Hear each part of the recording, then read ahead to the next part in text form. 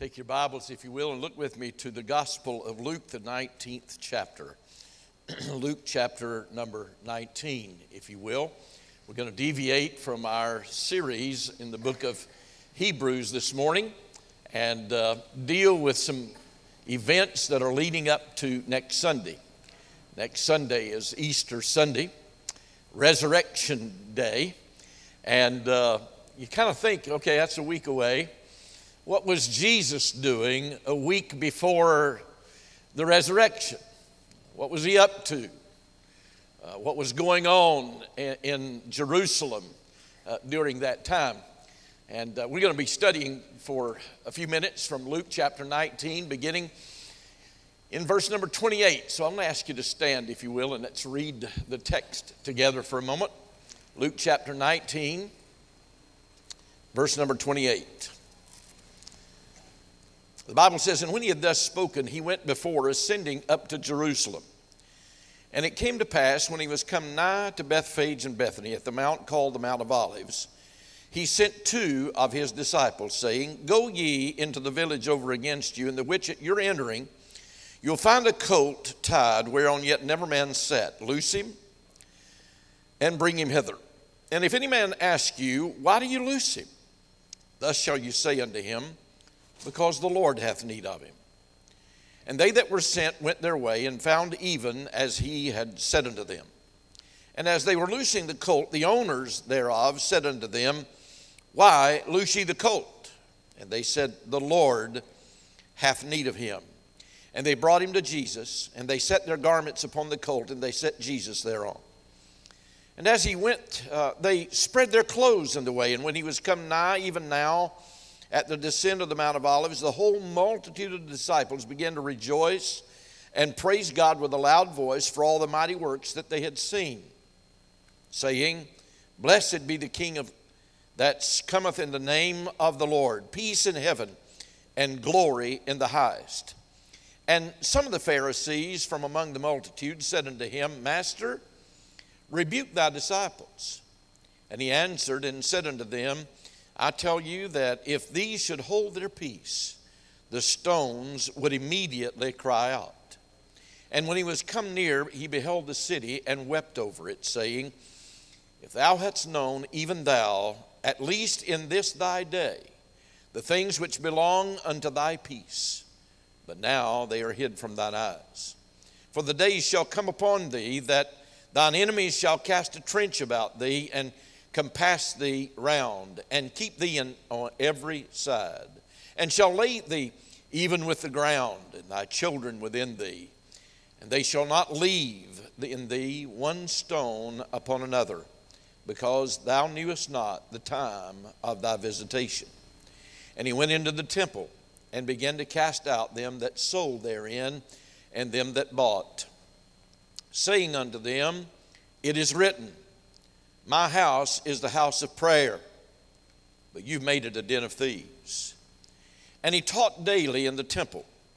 But the chief priests and the scribes and the chief of the people sought to destroy him and could not find what they might do, for all the people were very attentive to hear him.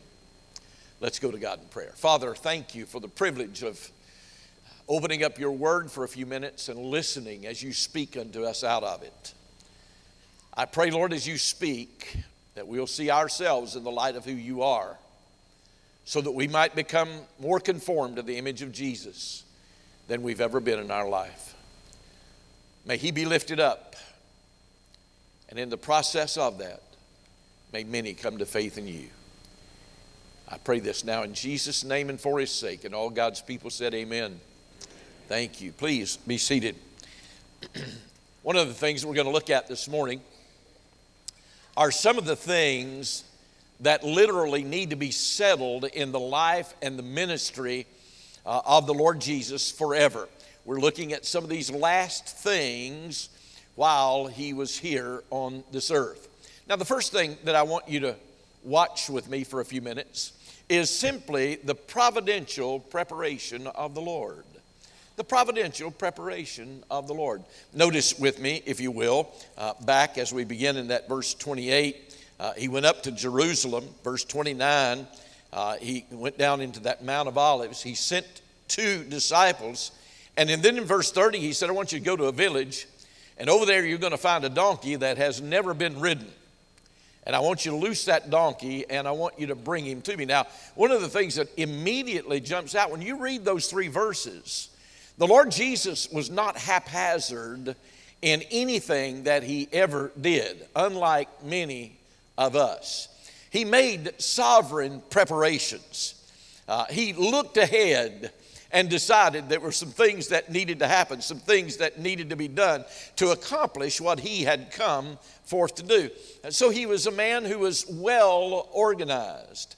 He didn't do anything haphazardly like us. I had an old boy come to me not, not, not, too long ago and he said, Pastor, I've settled this thing about my giving. I said, What do you mean you've settled this thing about your giving? He said, Well, yeah, you know, I, have I've come to, to, to, a belief that I know uh, how, to, how much to give God and how much I am to hold back. And I said, Well, how, how is that? He said, Well, every day, every Friday when I get my paycheck, I go to the bank and I cash it and I take the money home and uh, we, we, we go out on the deck and, and I just throw all of the money up into the air. And what stays up there belongs to God and what falls back down, it belongs to me. That, that's kind of a haphazard way, isn't it, uh, in figuring out what to give. But now notice in verse number 30, the Bible says that he said uh, in verse 30, Go to the house uh, into this village and find a donkey that is tied up. He didn't say, I want you to go find a Ferrari. He said, I want you to go get this donkey. And where the King of Kings, the Lord of Lords, royalty, the son of David, if you will, opted on his coronation parade that he was not going to come in uh, on a Ferrari or a Rolls Royce, but to come in on a donkey. You say, well, now wait a minute, preacher. Uh, all of that just doesn't add up to me. It's just, it, it's just not matching up to what my perception of Jesus uh, is or should be. Well, it may not match up to your perception, but it really does match up to the spirit of his humility that every one of us in this room need uh, to emulate. Now, you, you hear my heart here a minute. He's riding in on this donkey not to preach a Christian doctrine of some of the extremes that you and I are seeing uh, today. He didn't say if you come to Christ, you're always going to be poverty stricken. Nor did he say, if you come to Christ and be saved and receive God into your heart and into your life, that you will always be wealthy. Those are the two extremes. I, I was home uh, one Sunday uh, and, and uh, had the flu, and uh, so I was uh, going through the channels and just flipping to see what uh, kind of ministries were out there, and I stopped on one, and, and I heard this preacher as he said, to his congregation, and there were thousands and thousands that were there. He says, Do you see these $800 alligator shoes? He says, uh, All of you could have alligator shoes cost $800. Do, you know that uh, very expensive Mercedes, the, the best that Mercedes has to offer, is parked out there in my parking spot. All of you could be driving a Mercedes if you just had the amount of faith that you ought to have. So you've got that extreme. You have the other extreme that says that if you come to Christ, then you're going to always. We, we flubbed up this whole theological mess here uh, about, uh, about what it means to come to Christ and how Christ expects us to live. Jesus was trying to allow the beast, the lowest of all of the animals that he rode, as a symbol of his life that he lived before the world. The, the word says that the birds of the air have nests that they can go to. But the Son of Man, Jesus himself, doesn't have any place to lay his head. Now, we, we know that he was also had trouble paying taxes. He didn't have enough money to pay his taxes. By the way, tomorrow is April 15th, isn't it? I, I didn't want to bring that up, but you know, he told Peter, he said, I want you to go down in the water, I want you to catch some fish, and out of that mouth of the fish, half a shekel pay your taxes and a half a shekel pay my taxes. He didn't have enough money to pay his taxes. Let, let me just add something right here, parenthetically. Tomorrow's April the 15th. If me paying my taxes was dependent on my abilities as a fisherman, y'all would have to come and get me out of prison for tax evasion. I can just tell you that now. Not a fisherman at all. When he died, the only thing he had was a robe that his mother had probably given him. He didn't have a place with which to be buried, he had to be buried in a borrowed tomb, if you will. You see, the priority of Jesus was one that he wanted to show that in his messiahship, in his kingship, in his royalty, that, that, that, that it was not by the pluses of what could be done by the arms of the flesh could do, but because of who he was. He wanted to emulate that. Now look at verse 31. The Bible says, And if any man ask you, Why do you loose him?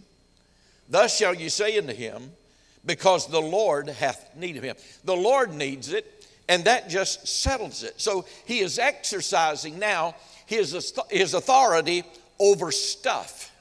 He's exercising his authority over things. He's announcing his lordship over everything that we think that we own.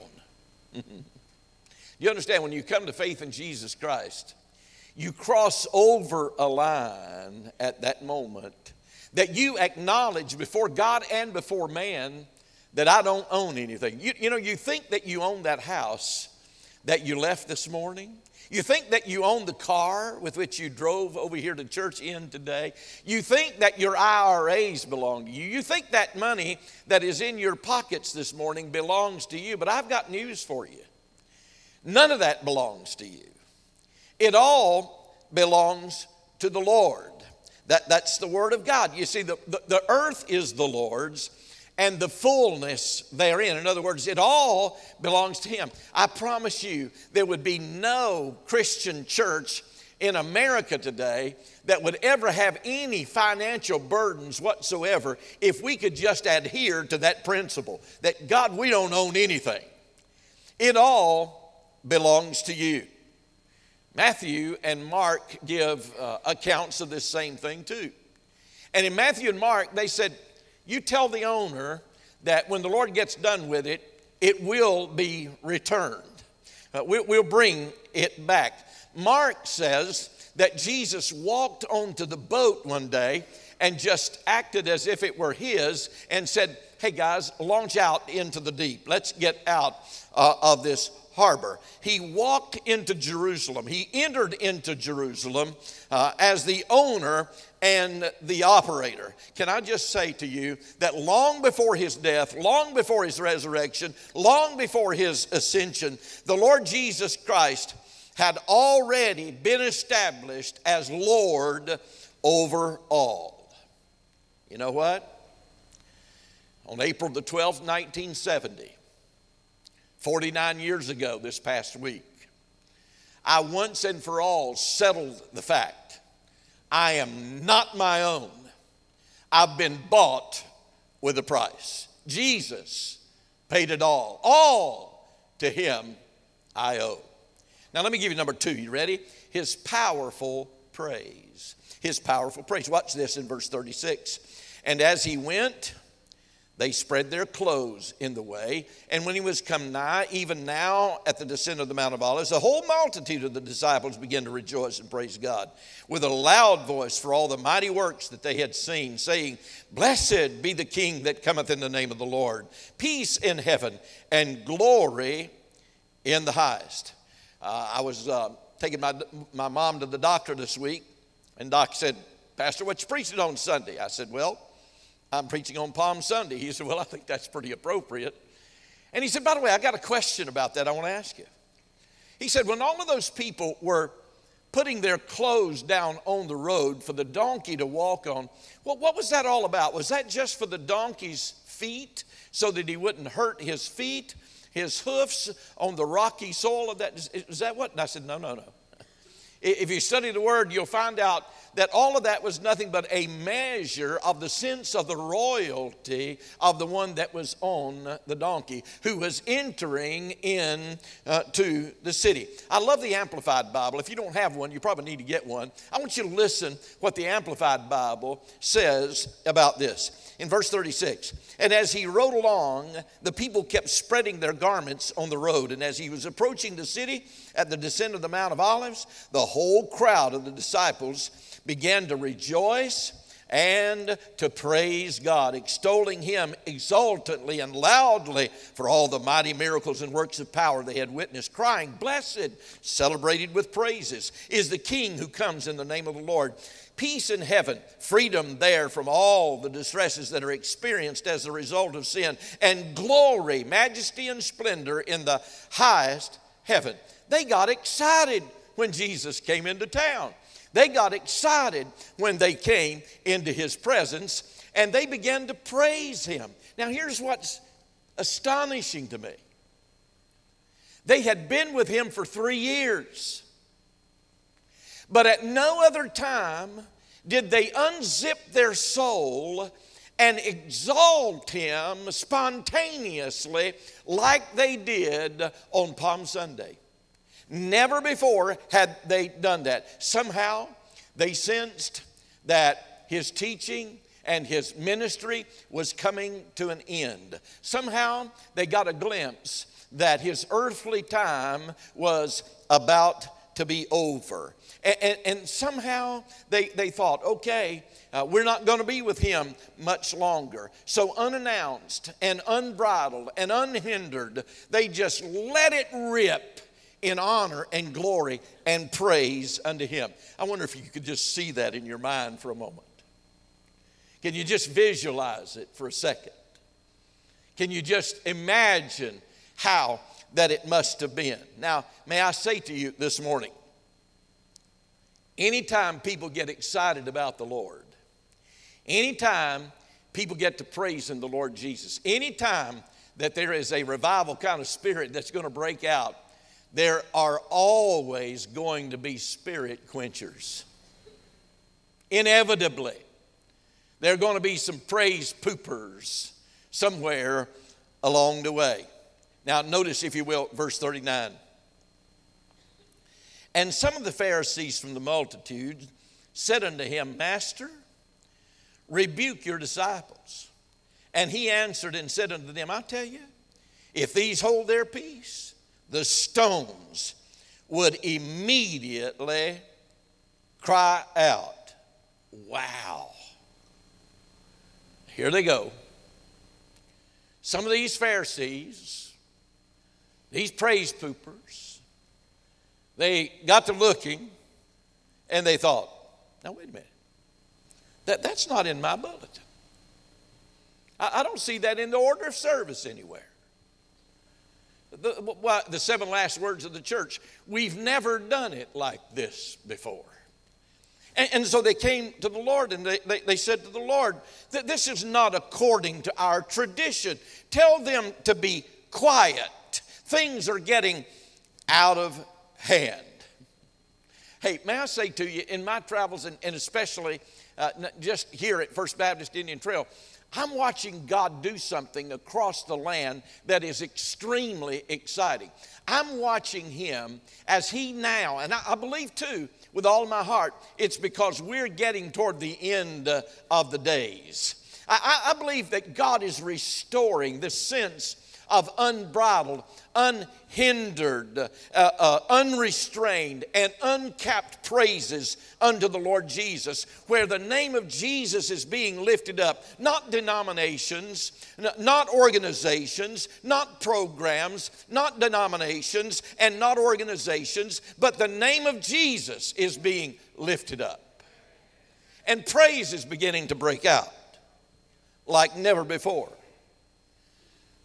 Won't you just imagine for a minute? The Lord Jesus in the vestibule. And all of a sudden, the doors wide open. Imagine with me Jesus as he comes riding down the aisles of this church. Wonder what it would be like. Would we sit there? What's going on here? Or would we acknowledge the King of Kings and the Lord of Lords, our Savior, our Redeemer, our coming King? Well, Matthew's account says that even the children got to praising. They were told to be quiet. The children were praising. Hear what they are saying. Just, just hear what these children are saying. Jesus said, out of the mouths of babes and sucklings has perfected praise. I got so excited a couple of weeks ago when I looked up into the choir and our children had joined had joined the adult choir and I watched as some little 8 and 10 year old kids with both hands straight up in the air, their eyes closed before God and they were singing the praises unto the Lord. Perfected praise. Let me give you number 3. It's his passionate perception. Notice verse 41. His passionate perception. And when he was come near, he beheld the city and wept over it. what did he see? I believe he saw the lying. I believe he saw the cheating. I believe he saw the broken homes and the misery, the heartache, the loneliness, the despair, the depression, the immorality, the breaking of all of God's principles, the violation of all of that. This broken, emaciated culture that was like sheep that did not have a shepherd. He saw the chaotic confusion that had absolutely covered the whole area. He saw fallen man and all that fallenness brings. He saw the barren existence. And what he saw and what he grieved over was with all of that going on, the solution to everything they were facing was five feet away.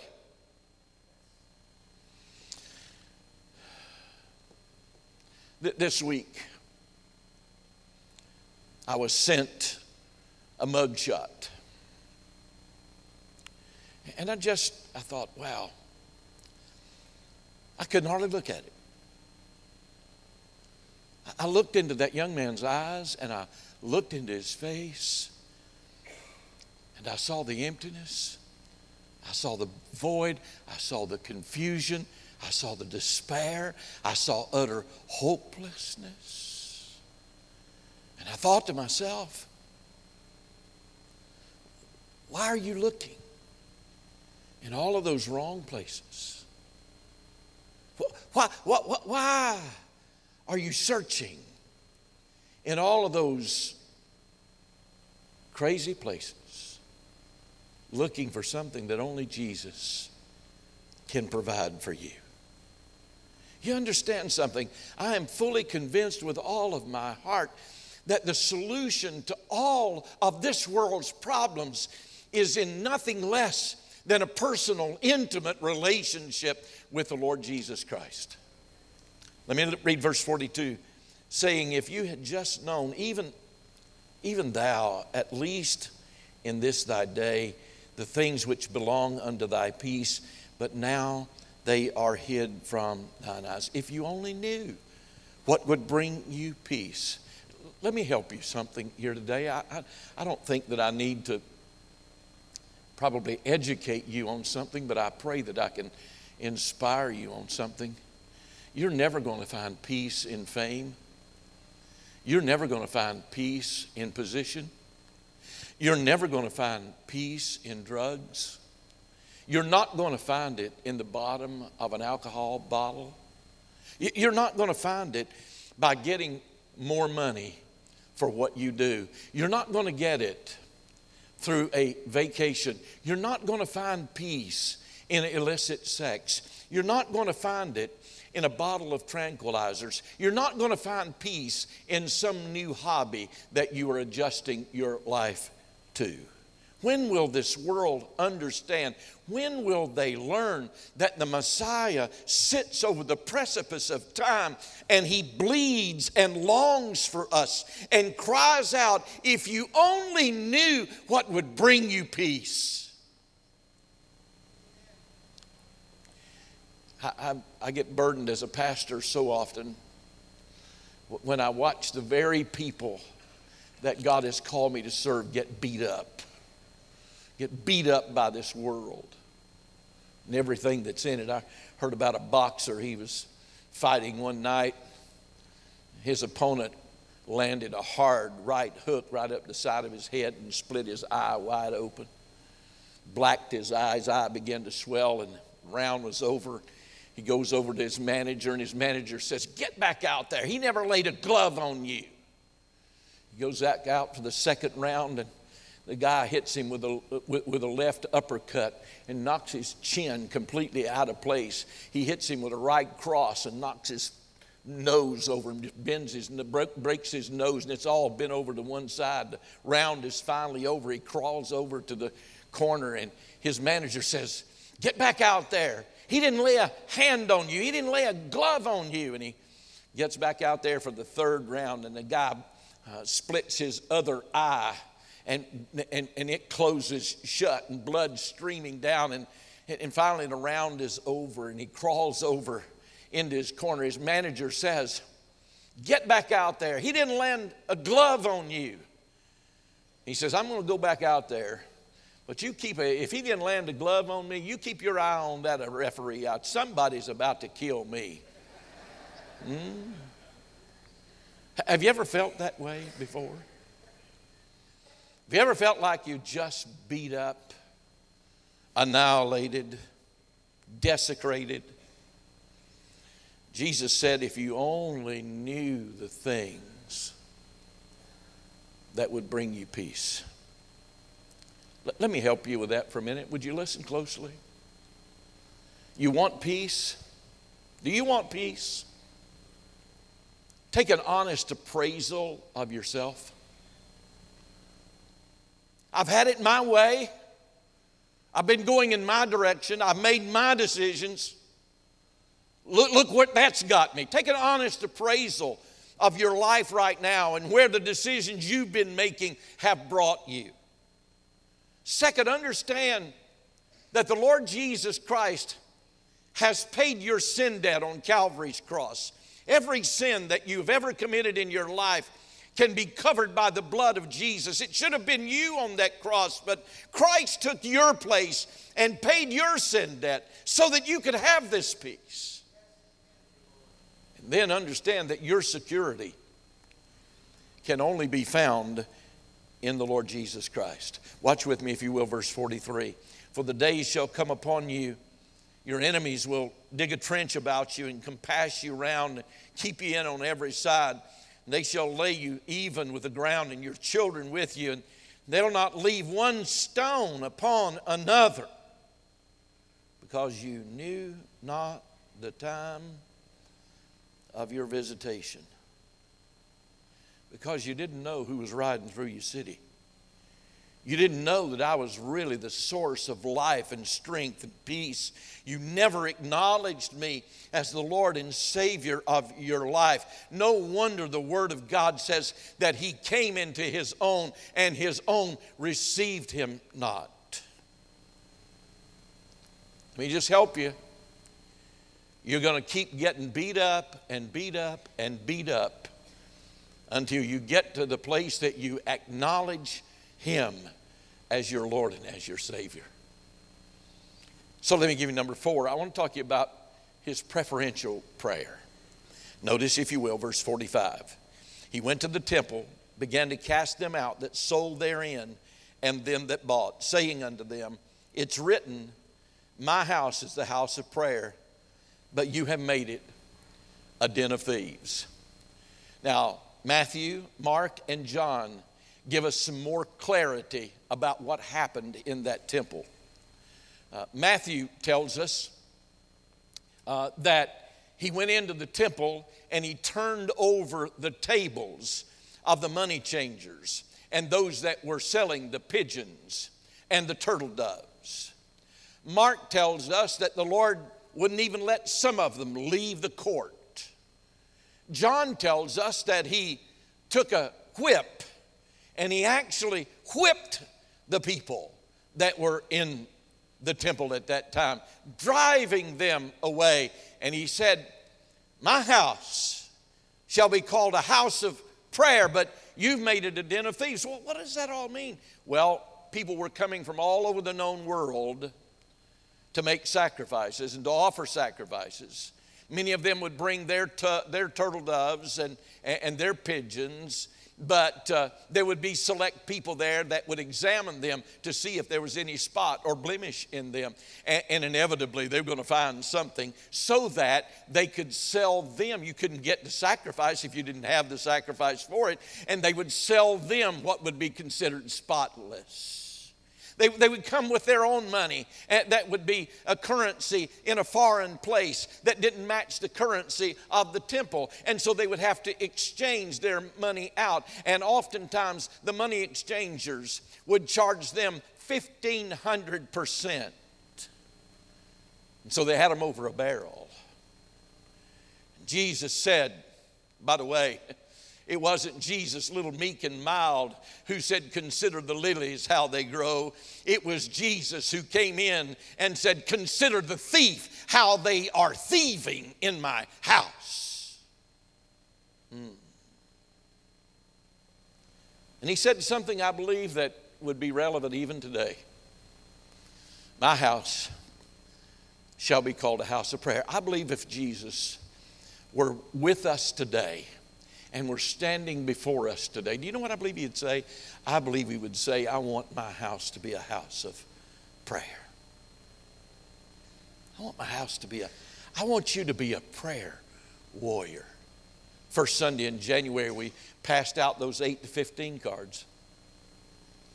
I don't know how many of you have yours. I don't know how many of you filled them out.